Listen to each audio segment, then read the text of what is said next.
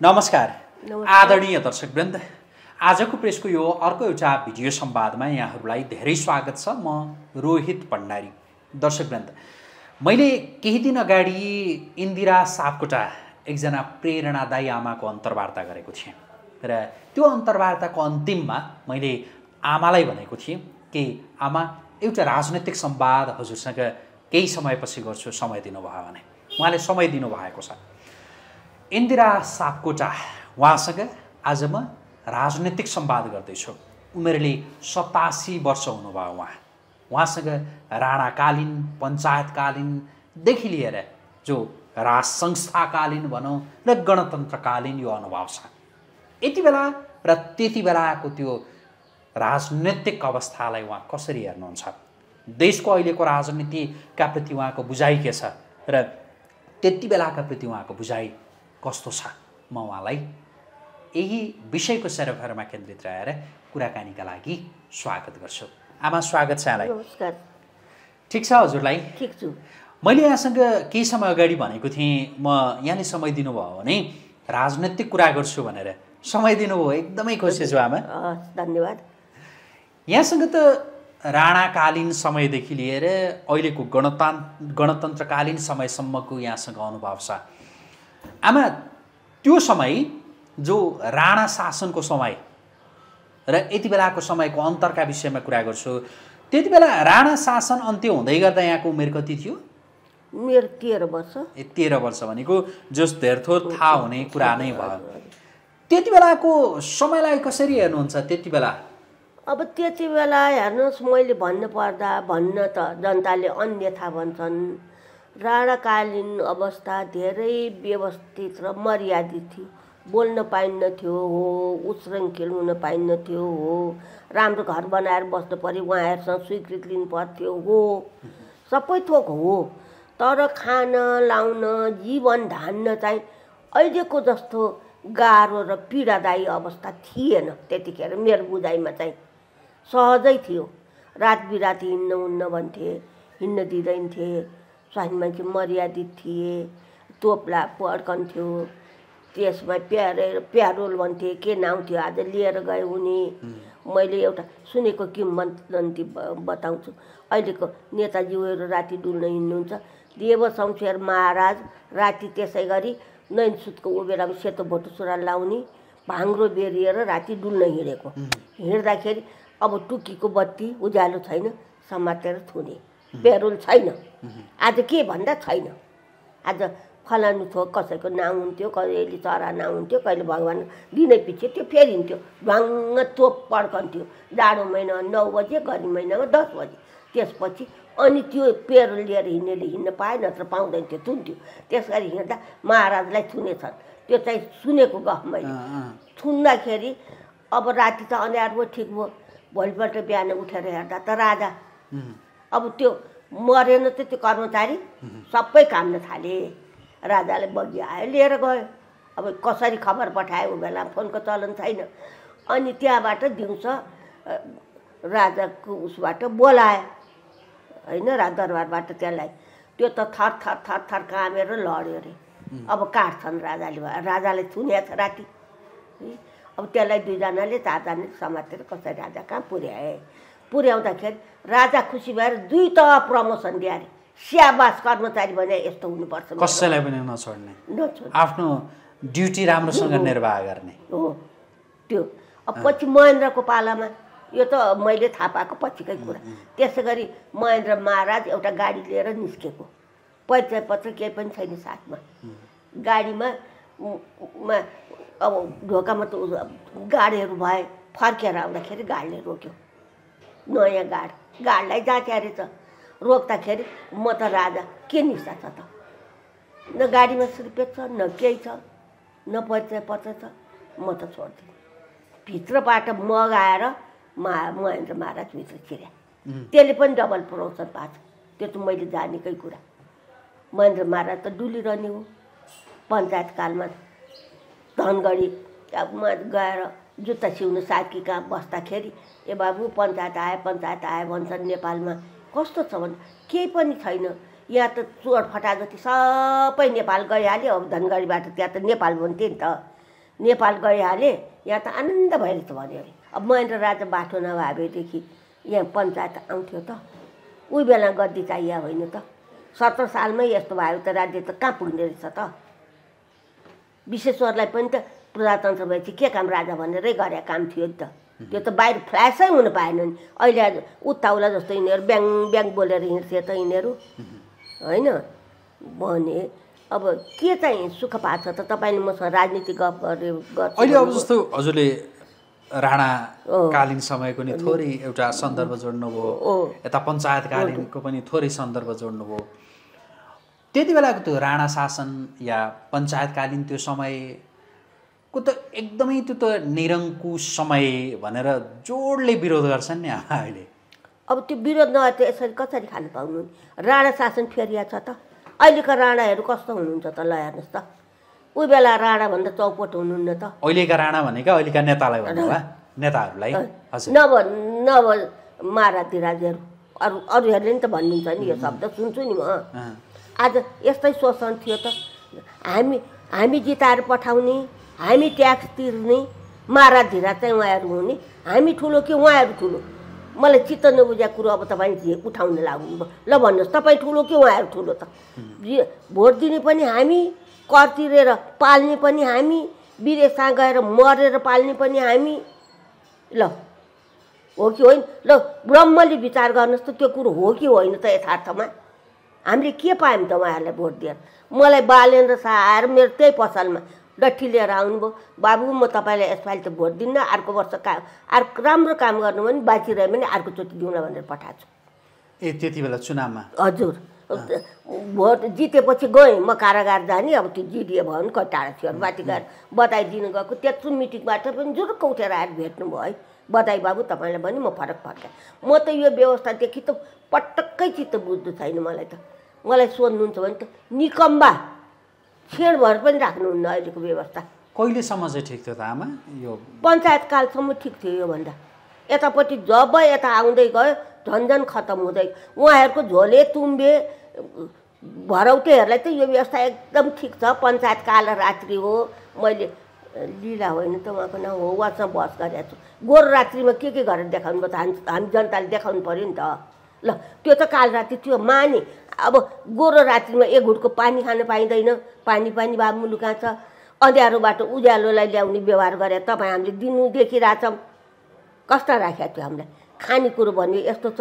देशको सबै माटो बिगार्नु भयो अर्का ल्याएर मल ल्याएर औषधि ल्याएर। अब खानेकुरो छैन माग्ने बनाउनु भयो। अर्काले नदिए खानु पाइँदैन।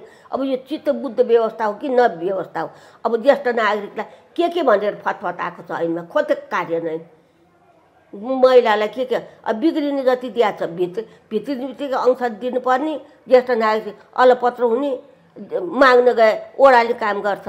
घर घरमा सिंहदरबार के के गरेको छ त सिंहदरबार? जवाब चाहियो नि। म त यो देशको ज्येष्ठ नागरिक त्यसमा पनि अस्सी काट्या वरिष्ठ नागरिक हुँ। मेरो पनि उहाँहरूको जति यहाँ बोल्ने हक छ मैले त आज यसरी बोल्न थालेको छु। हो कि होइन? हामी यो देशको जनता हुँ कि होइन त ल तपाईँ हामी सबै जिताउने चाहिँ हामी दुःख पाउने पनि हामी कर तिर्ने पनि हामी धनीले कर नतिरे पनि हुने व्यापारीले यो यो पनि राज्य व्यवस्था हो त यिनीहरूले गरे राज्य। जुन अहिले जुन प्रकारको असन्तुष्टि अहिलेको व्यवस्था अहिलेका शासकहरूप्रति हजुरको जो देखियो नि हजुर। पञ्चायतकालीन त्यो समयमा जति बेला यहाँ एक खालको युवा हुनुहुन्थ्यो युवा अवस्थामा हुनुहुन्थ्यो। त्यति बेला नि त्यति बेलाका शासकहरूप्रति यस्तै प्रकारको असन्तुष्टि त जागृत हुन्थ्यो होला कि हुँदैन थियो? यो जति असन्तुष्टि हुनु पर्या थिएन।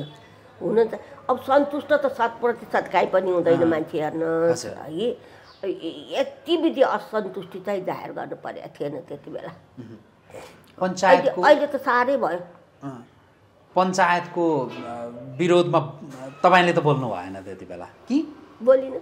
मलाई राजनीतिसँग के सरकार अहिले अहिले पनि सरकार छैन। कसैले सोध्न आयो तपाईँले सोध्नु लागेको कुरो भन्ने। मलाई मलाई त काङ्ग्रेसले नै आइज भनेको थियो माओवादीले नै आइज भनेको थियो एमाले नै आइज भनेको थियो। यहाँ भएका पार्टी सबै राष्ट्रिय प्रजातन्त्र पार्टीले पनि बोलाएर आइज भनेको थियो। म राजनीतिमा जान्न मलाई चाहिँदैन। यहाँ राजनीति छ राजनीतिका लागि बोलाएको? हजुर। के पार्टीमा आउनुहोस्? के राजनीति गर्नुहोस्। टिकट नै दिन्छौँ भनेर पनि एकचोटि सांसद उठ्या पनि त हो नि। कहाँबाट? कुन यी काठमाडौँ क्षेत्र नम्बर दुईबाट। ए कुन पार्टीबाट? कि के संयुक्त के नेपाल टाइगर छैन त्यसकै पार्टी थियो एउटा। त्यसैबाट उठ्या। उसैले दर्ता फी पनि तिर्दियो खर्च जति उसैले गऱ्यो उठ्दियो भने उठ्दियो। कतिबाट आमा? पैँतालिस सय। कति? पैँतालिस सय। पैँतालिस सय। त्यही पनि तिन पाते थियो पाते भन्दा रुख भनेर धेरै भोट त का रुखैमा हालिदिएछन् फेरि। त्यस्तो रमाइलो भयो नि। त्यो पनि रेणु दाल छ रिस उठेर ए रेणु दालसरी छुटेर। अनि रोचक कुरा बताउँछु। म त हिँड्दै हिँड्दै त्यति बेला त लोकल सवारी चढ्थेँ। पैँतालिस सय भोट आएको। एउटा रोचक कुरा भन्दै हुनुहुन्थ्यो नि आमा अघि। म ऊ गेट पुगेको थिएँ। फोन आयो मोबाइल उठाएँ। पुलिसले फोन गरे भने अब मैले किन पुलिसले फोन गरिदिए जस्तो? अचम्म पऱ्यो। तपाईँले किन फोन गरे मलाई भने अनि अ तपाईँ त सभा साथमा उठ्या मान्छे होइन। हामीलाई त सात दिन अगाडि नै सुरक्षा दिनु भनेर आउँछ। तपाईँलाई के सुरक्षा चाहिन्छ भन्छ मोहन बद्देल त त्यतिखेर सबैले मार्छु भनेको थियो नि त। अनि भन्यो मैले भने मलाई त चाहिँदैन। तपाईँहरूलाई सुरक्षा दिन्छ भने मेरो घर फलान ठाउँमा छ वरिपरि घुम्न सिद्धियो। मलाई किन सुरक्षा चाहिन्छ र भने म आफ्नो काम सकेँ घर आएर बसेँ। अब त्यति गर्दा गर्दै त्यही बेला नन्द सोध्यो हो बौद्ध जानु पऱ्यो। माङका अब पुलिसलाई फोन गर्ने त्यो दिन चाहिँ मलाई यसरी जानु पऱ्यो र है बाहिरबाट निगरानी गरिदिनुहोस् नन्द सोध्यो विचार लिएर जानु पऱ्यो गएँ। चुनावमा पनि उठेको हो। गरि गरिरहन्छु नि। थुप्रो भोट पो आज त आमा पैँतालिस त्यही पनि धेरै आउने रहेछ नि त बाहिर हालेछ नि त रुख भाइ। दिपकुमार उपाध्याय। अनि जितेको भए चाहिँ जितेर के गरौँला भन्ने थियो आमा तपाईँलाई? उद्देश्य थिएन। नि एउटा मजाकको बाटो पो भयो त। होइन त। अब केही उद्देश्यै थिएन नि मेरो त। म त राजनीतिलाई आउने हुने मान्छे अघि औलाइन त। यही हो त गर्ने। उहाँहरूले सा यो प्रजातन्त्र आएदेखि के के प्रतिबद्धता जनाइसक्नुभयो? अस्ति अहिले पैँतालिस सय चोटि दिएको प्रधानमन्त्रीको वक्तव्य कस्तो लाग्यो त? उहाँहरूको कुराकानी भनेर सोधेँ मान्छेले मैले पै पैँतालिसचोटि सुनिसकेँ जस्ता जस्तै केही पनि लागेन भने मैले छ त केही। आज बङ्गाली जति दहरा पनि रहेछौँ त हामी। बङ्गाली जातिद्वारा भन्नाले जो- तपाईँले बङ्गलादेशमा भएको त्यो आन्दोलनको कुरा हजुर? हजुर। उनीहरूले कसरी फालिहाले त हामी यत्रो अत्याचार गर्दा पनि हामी टाउकोमा बोझ खपेर बसिरहेछौँ त। हामी जनतै त्यस्ता हौँ। हो त। जनतै त्यस्तै हामी नै त्यस्तै। अति सहनशील चाहिने भन्दा बढी सहने के को प्रजातन्त्र आयो त यहाँ? राणातन्त्र भन्दा नि खतम त। जति गरे नि उनीहरूलाई नै राजा महाराज भनेर उहाँका कार्यकर्ता जानुभएकै छ त ढोग्न। दुई चारजना हामी नजाउँला। म मेरो मुखले त राज्य सञ्चालक मात्रै भन्छु। अघि यहाँले बालेन शाहको कुरा गर्दै हुनुहुन्थ्यो। हजुर। बालेन शाह चाहिँ कस्तो लाग्छ आमा अहिले? अहिलेसम्म त ठिकै छ। फेरि प्रचण्ड जस्तो फुर्किने हो कि? फुर्काउन चाहिँ हुन्न भन्छु म चाहिँ। प्रचण्ड चाहिँ फुर्किएको? फुर्क्यायो भने त पहिले के के गर्छ भनेर आकाशबाट अन्ध वर्षन्छ भन्दा नि पत्यारिरह्यो भने नि त नेपाली जनताले प्रचण्ड प्रधानमन्त्री भएपछि बर्स्यो त अन्न। बालेन शाहले गरेको काम ठिकै ठिक ठिक गर्दैन कहाँसम्म ठिक हुन्छ कहाँसम्म बेटेको हुन्छ हामी औलाउँछौँ। रवि लामी छाने नि आमा? रवि लामी छानेको चाहिँ मलाई विश्वास लाग्दैन। रवि लामी छानेको सुमना श्रेष्ठको शिक्षा सल्लाहकार यहाँ तल कोठा बस्न आउनु खोज्नु भएको थियो। भाग्यले गाडी छिरेन उहाँको। मैले सोधेँ उहाँको दुरैलाई रवि लामी छानेको सहकारी क्या हो भन्दा भर्खर हामाचे छ पनि। म त बोलिहाल्नु पर्ने। अहिले यसो झुक्नु पो जवाफ दिनु भएन। के रहेछ त रहस्य? अब किन खोल्दैनन् त? मैले अघि नै भने नि फाइल खोल्ने बन्द गर्ने के यो केटाकेटीलाई थुथुयाएर हो बाबु हो भने हो त हामी नेपाली जनतालाई। खोल्ने भए खोल्नु पऱ्यो तुरुन्तै दण्ड गर्ने भए दण्ड गर्नु पऱ्यो सफाइ दिने भए सफाइ दिनु पऱ्यो उसको के ठहर हुन्छ आज तेरो कहिले गिरिबन्धु भनेको छ कहिले ललिता निवास भनेको छ कहिले के भनेको छ जनतालाई अल्मल्याउने बाटो मात्रै गर्ने हो त। होइन प्रेसर दिएर मेरा मान्छे दण्ड सजाय पनि मेरो मान्छे तेरो मान्छे हुन्छ त गल्तीमा पनि। छोरै भयो भने बाउले गर्नुपर्छ बाउ नै भयो भने छोराले गर्नुपर्छ। टाढा चाहिँ किन जाउँ? उहाँको चाहिँ त्यति धेरै आशा छैन। छैन मलाई त। गरेर नदेखाइ त कुनै पनि छैन। बालेलाई नि त घर देखाउनुहोस् है भनेर पठाएको छु नि त। अहिले चाहिँ यहाँले भन्नुभएको भन्नुभएको थिएन कि उहाँ भोट माग्न आउँदाखेरि ल राम्रो गर्नु भने अर्कोपल्ट दिन्छु अहिले चाहिँ जानुहोस् भनेर भन्ने भनेर। अब अब अब फेरि उठ्नु भने चाहिँ दिनुहुन्छ अहिलेसम्मको कामलाई हेरेर? अब त्यो बेलासम्म कस्तो हुन्छ? त्यो पनि भन्दिनँ। म चुनावमा भोट दिन त जान्छु नि। अब उयो उयो आँखा देख्छु नि बिचतिर कता हालेर आउँछु अब थाहा छैन। जस्तै गरी नहाल्यो भने अर्काले हालिहाल्दो त्यस्तो मिलाइहाल्दा त्यसो जान्छु सातै बजी बिहान। जहाँ भोट ती विजय मेम्बरहरू खुरुखुरु। यो पालि अब गएको चुनावसम्म त जान सकेको छु अब आउँजेल के हुन्छ है? जान्छु नि जानु त। राजनीतिपट्टि त अति दुखेसो छ मेरो त अहिले त। अलिकति त्यो आफूलाई आश लाग्दा नेताहरू पनि कोही होलान् नि आमा कि कोही छैनन्? कोही छैनन्? छैन। अहिले त कोही पनि देख्दिनँ। कोही। तुलनात्मक रूपमा जस्तो ल यो चाहिँ अरूभन्दा भन्ने खालको त्यस्तो। अहिलेसम्म त मैले कोही पनि देखाएको छैन। यो बेलासम्म। एकजना मलाई श्रद्धा लागेको मान्छे मनमोहन अधिकारी हो। उहाँले कस्तो राम्रो सजेसन दिनुभएको थियो। हाम्रो गाउँ हामी बनाऊ। त्यो बनाए आज यस्तो हुन्थ्यो त। यी विदेशीहरू दुबई गएर धुरु धुर रुनु पर्थ्यो त। मेरो एकचोटि ट्रान्जिट दुबईमा थियो। रोए बा त्यहाँ मान्छेहरू।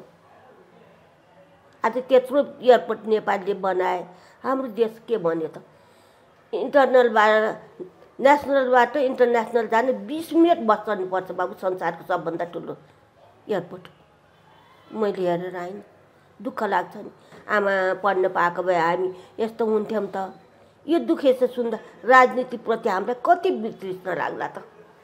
ल भन्नुहोस् त तपाईँहरू। आज एउटा नेपालको छोराछोरी रोइरहेछन् कहाँ गएर बेचिरहेछन् के के भइरहेछ मरिरहेछन्। त्यो हेऱ्यो त्यस्तो छ कानुन हेऱ्यो भने यस्तो छ। सन्तानले माथिल्लो पुस्ता हेरेका छैनन् आएर बिहे गरेर जोड्ने बित्तिकै सम्पत्ति सबै त्यो जोडिनेले पाउने। विदेशमा मर्छन् पैसा आउँछ त्यो स्वास्नी जोडिएकीले पाउने। ती गरिब खान नपाउने बाबुआमा भोकै बसिया छन्। मिलाउनु पर्दैन यिनीहरू राज्य व्यवस्था किन चाहियो त त्यही मिलाउनु चाहियो होइन हामीलाई। हामी घर दाल भात पकाएर खान्छ किन तिनीहरू चाहिन्छ र? पकाएर खान्छौँ नि हामी। कहाँ कहाँ छ त चित्त? चित्त अन्य ठाउँ लौ यहाँनिर छ भनेर मलाई देखाइदिनु पऱ्यो यो म नेपाल सरकारलाई नै भनेको त यो तपाईँको मिडियामा बसेर नेपाल सरकारलाई भनेको। हामीलाई चित्त बुझ्ने ठाउँ देखाइदिनु पर्यो पानी खानु पऱ्यो भने पानी पानीको देशा छौँ एक घुटको पानी खानु कल्पिरहनु पर्छ। त्रिहत्तर वर्षसम्म उहाँहरूले गरेको यही हो त। अरू देश कति पछि आएका होइनन् त। कहाँ कहाँ पुगिसके? अलिकति लज्जा बोध हुनु पर्थ्यो हाम्रो राजनीतिलाई त।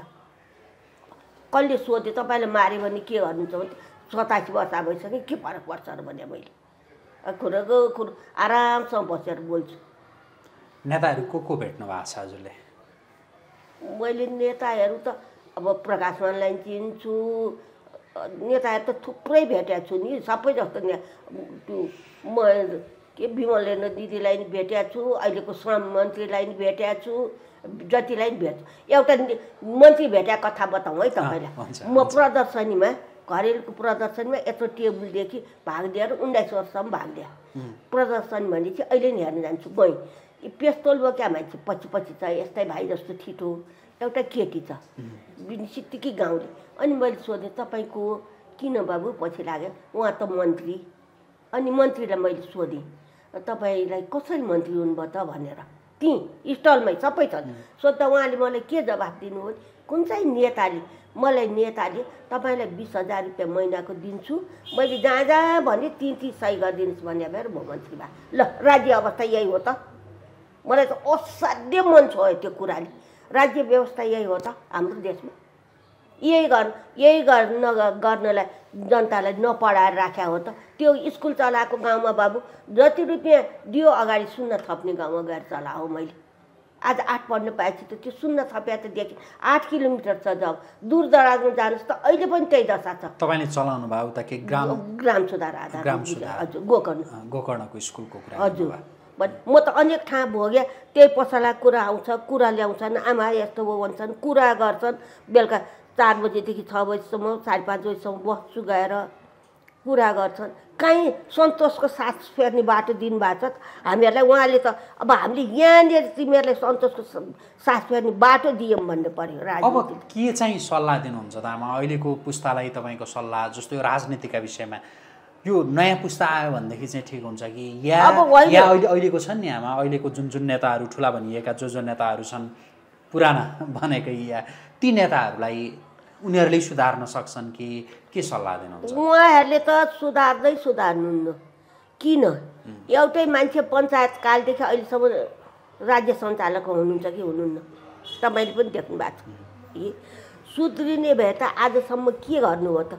हामी जनताले कर तिर्ने तपाईँ तपाईँले काम गर्नुभएको छ कति कर तिर्नुहुन्छ? मैले काम गरेको छु कति कर तिर् कर तिरेर पाल्ने चाहिँ हामी दुःख पाउने पनि हामी अब हामीले अर्को राज्य व्यवस्था नल्याएसम्म हुँदैन। त्यो अर्को राज्य व्यवस्था कस्तो ल्याउनु पर्यो? स्वच्छ सबै जनतालाई काम लाग्दो जनताको जी जीवनयापन सहज हुने व्यवस्था आउनु पर्यो। के व्यवस्था? अब म त त्यसको विज्ञ होइन। मन्त्री भयो कि या त सबै विज्ञ जु जुन विषयको मान्छे नि जहाँ पठाइदिए नि हुने सक्छ त त्यसले काम गर्न। होइन जहाँ अब मलाई अर्को काम गर भनेर दिएर आउँछ। तपाईँको यो काम गर भने म जान्दछु त। जान्दिनँ नि। यस्तो राज्य राखेर हुन्छ त। अब कस्तो व्यवस्था त आमा? अब व्यवस्था कस्तो मैले भनिहालेँ। नि सहज हुनु पर्यो जनतासँग सल्लाह गर्नु पर्यो संविधान आयो कस्तो संविधान आयो देखिरहनु भएको छ। अब अहिले भ्रष्टाचारको हेर्नु न। भ्रष्टाचार गरेर पाँच वर्ष पाँच वर्षपछि उन्मुक्ति हुने। त्यस्तो राजनीति पनि राजनीति हो त। राजनीति त कस्तो भयो? हिरो बेसकन जिउमा पोतेर राजनीतिको पोखरीमा फाल्न गएर नुहाएर चोखो भएर निस्किने अवस्था भयो नि त जति भ्रष्टाचार गरे पनि। के गरे यो? गरेको के? जनताको सर्नु जनताको अगाडि उहाँहरूलाई अलिकति सर्नु पनि हुनु पर्थ्यो। के भन्नु हामीले जनताले हामीलाई भन्ने? पहिले राणा कालमा पनि ए जनताले के भन्छन्? भन्थे। अहिले अहिले भन्छन् त। यही ल विगतमा उहाँहरूले नचाहिएको गद्दीबाट बिदा गरेको राजाकै अगाडि पनि यसलाई लाज हुँदैन त। ल भन्नुहोस् न। हामीले घर गरेर बस्दा पनि आमै फलानाले के भन्ला न तपाईँ हामी भन्दैनौँ त सबै। छ त उहाँहरूको केही उहाँहरूले त खालि जसरी हुन्छ आफूलाई पैसा। पैसा बेची उहाँहरूले जाने भोट आउँछ। अब पैसा देखाइदिएपछि भोट दिने जनता बनाएर राखेको छ नपढाएर। सि शिक्षाको अवस्था हेरिहाल्नुभयो एसीहरूको जाँचको रिजल्ट हेर्ने शिक्षकहरू नै राजनीति गरेर हिँड्ने अब नपढाउने। हामीलाई पनि आएको थियो काङ्ग्रेसको प्याडै बोकेर मेम्बर बनाउने। मैले लखेटेर राखेँ। हामी त यहाँ शिक्षा दिनु बस्या मान्छे बाबु यो लिएर आउने होइन भनेर। यस्तो गरेर राज्य चल्छ त। अहिले जस्तो यो फेरि देशमा राज संस्था राज संस्था भनेर भनिरहेका छन् नि कतिले राज संस्था आवश्यक छ आमा देशमा? खोइ अब आवश्यकता बिग्रिएको देख्दा त आशा गर्ने ठाउँ भयो। उहाँहरूले नै बनाइदिनु भयो त्यो ठाउँ। त्यसपछि उहाँहरूले सपार्दै लगे अब हामीले कहिले पनि यो कुरा निकाल्नै पर्दैन थियो। त्यसपछि झन् यस्तो हुँदै गयो। अब आश गरेर पनि आश चाहिँ गरौँ फेरि भरोसा चाहिँ नगरौँ। म त गरेर नदेखाइकन कुनै कुरो पनि विश्वास नगर्ने ठाउँमा पुगिसकेँ। देशमा राज संस्था आवश्यकता चाहिँ छ भन्ने लाग्छ कि लाग्दैन आमा? या होइन त्यो गणतन्त्र नै ठिक छ राज संस्था पर्दैन भन्ने लाग्छ? त राम्रो काम गरे त सबै व्यवस्था ठिक हो नि बाबु। राम्रो गरे अब राष्ट्र राज संस्था पनि ठिक थियो। राज संस्थाको दुईवटा महानता चाहिँ म के देख्छु भने जनता चाहिँ मार्नु भएन है उहाँहरूले। सत्तालिस साल छयालिस सालको आन्दोलनमा पनि मार्नु भएन अहिले पनि सोह्र त्रिसठीमा पनि पारिदिए हुन्थ्यो। नेपाली जनता मारिदिनु। उहाँहरूको गल्ती मैले बुझेको नेपाली नागरिकको हैसियतले संविधानभित्र नबस्नु जुन- देशमा जन्मिएको छ त्यसको संविधान मान्दिनँ भन्ने पाइन्छ त। त्यो त्यो चाहिँ मैले गल्ती उहाँहरूले भेटै नि आउल्याउँछु म त। सबैले बाउली निशान गरिदिएको कागज पनि छ। राजा वीरेन्द्रसँग गफ गर्दा ठाडो टाउको ला फोटो पनि छ भित्र मसँग। अब राजा अल्को म होछु गफ गर्दा गर्दै पञ्चायतकालमा टाउको त यस्तो भएछ। भने अब सन्तुष्ट हुने ठाउँ कहाँ बाटो त उहाँहरूले हामीलाई त बाटो देखाइदिनु पऱ्यो। ल तिमीहरूलाई हामीले यसो गर्यो अब देखादेखि कुलमानले राष्ट्रको पैसा उठाउँछ भन्दा प्रधानमन्त्री जस्तो मान्छेले नउठा भन्न। के के भने त? उसले उठाउनु भन्दा नि त उसले उठा भन्नु पर्थ्यो नि त बाबु यो कुरामा हो कि होइन? चित्त बुझ्छ त तपाईँलाई। तपाईँहरू त बाध्य हुनुभएको छ मैले जस्तो बोल्नु पाउनुहुन्न। मलाई त केही न केही हद्द गरे मार्ला नआउनु मार्नु। सतासी वर्ष भइसक्यो के फरक पर्छ? मलाई त पर्दैन फरक। ए यस्तो काम पनि गर्छ त राष्ट्रको लागि। कर बढाइदिएको छ घर घरमा सिंहदरबार भनेको छ। ओडामा गयो ओडा अध्यक्षलाई भेट्न जानु पैसा लिएर जानुपर्छ भनेर हिँड्छन् बाटोमा मान्छेहरू। यही हो त राज्य गरे। पैसाको मात्रै राज्य हो त। मै परेको छु उन्तिस वडामा वडा अध्यक्षै ल्याएर मलाई यहाँ घर निकाल्नु खोज्दै हुनुहुन्छ अब के के भने ल त उहाँले सक्नुहुन्छ त मेरो घरमा बसेको छु म. अब राज्य। एउटा पनि मलाई सोध्नुहुन्छ भने चित्त बुझाएको छैन उहाँहरू सचिने सचिन. ऊ डाक्टरले मिठो लागेको कुरो नखा भनेर भन्दा त्यो छोड्नु कति गाह्रो हुन्छ? उनीहरूलाई सत्ता स्वाद चाख्या छ छोड्नु गाह्रो भयो छोडिदिनु पर्ने हो नि नेताहरू बेची हुन्छ आमा आज हजुरसँग यति कुराकानी धेरै। गफ हो बाबु। कति उचनिच हो त्यो चाहिँ तपाईँको मिडियाले क्षमा दिनुपर्छ मलाई। मलाई त राजनीतिप्रति त अति वितृष्णा जागेको छ। ल। हस् धन्यवाद आमा। आदरणीय दर्शकवृन्द हामी कुराकानी गरिरहेका थियौँ। इन्दिरा सापकोटा एकजना हजुरआमासँग उहाँसँगको यो कुराकानीसँगै आजको प्रेसको भिडियो संवाद अहिलेका लागि यहीँ सकिन्छ। पल पलको अपडेट ताजा बहस र विश्लेषणात्मक टिप्पणीका लागि आजको प्रेस हेर्दै गर्नुहोला। नमस्कार।